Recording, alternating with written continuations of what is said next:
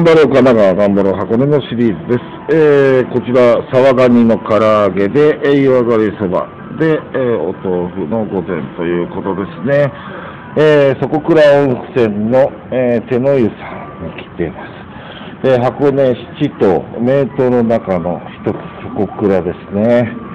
え、ちょっとね、1号線から外れてるだけで静か、すごくいいです。あと露天風呂充実、休憩室充実ということでね、あ満喫しました。